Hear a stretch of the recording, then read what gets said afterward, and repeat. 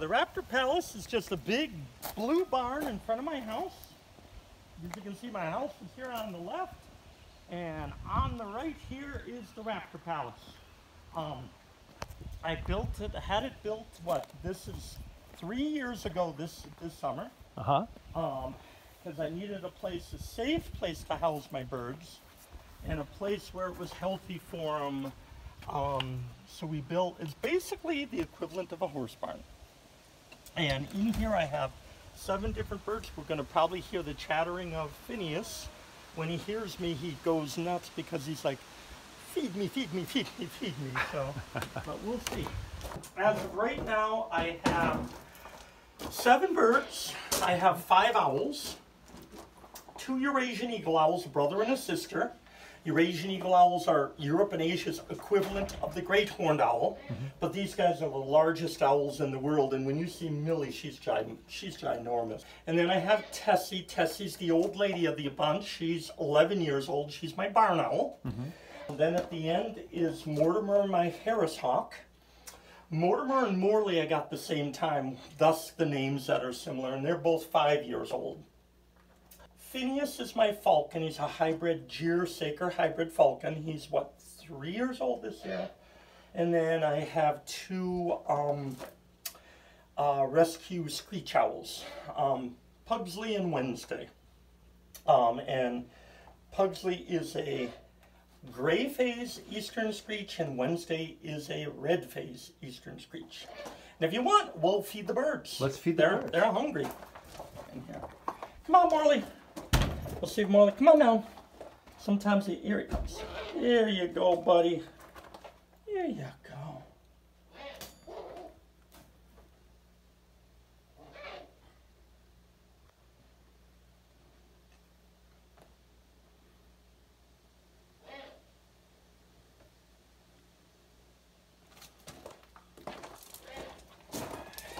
Hi, Marley.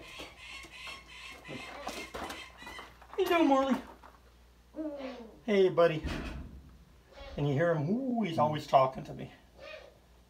And that rap you hear, that's Millie, and that's her begging for food. They, they say different things when they're talking to you.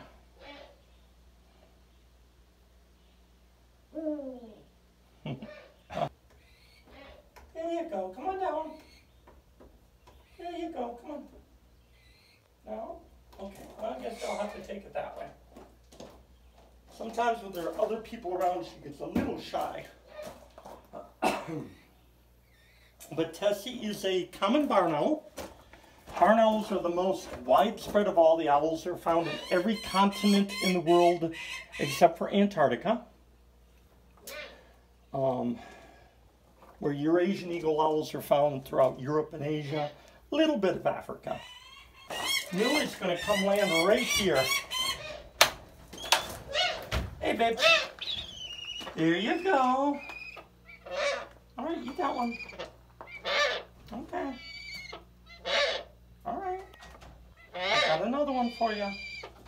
Yeah, eat that one. There you go. You're gonna see considerably bigger. All right, considerably bigger, a little bit more snotty.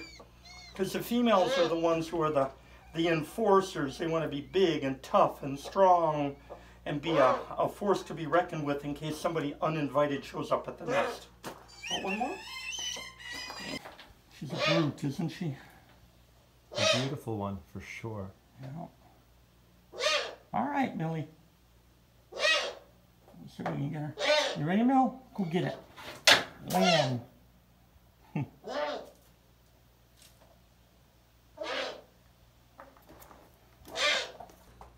the two screech owls, Pugsley and Wednesday, are in here. And they're not going to fly to me because they are more. But why don't you? You're welcome to come in and and you can get a. You can see them over there. Ah, look at those guys. There, and Wednesday does fly, so and when she flies, she's going to be flying, trying to trying to get away from you. Pugsley can't fly. She can't fly. What, now, what happened? That came. You can see her Both of them got hit by a car. They both came from West Virginia. Pugsley has a partially amputated wing, and Wednesday has a uh, detached retina. All right.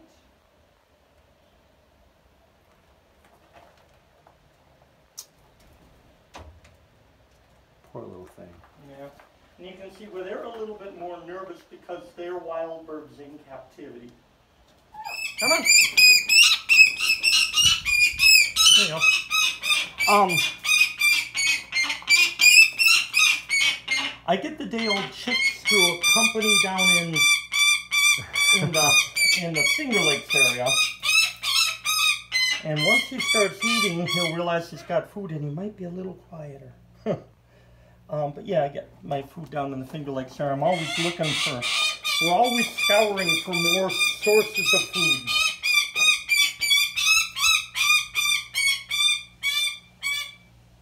How you doing? Okay. I'm gonna close this side.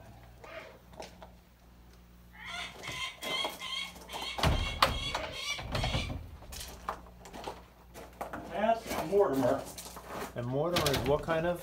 He's a Harris hawk, and Harris hawks are found in the southwestern part of the country. Come on, Morty. Oh no, there you go. You can eat? There you go. Come on back up. There you go. There you go. Good boy.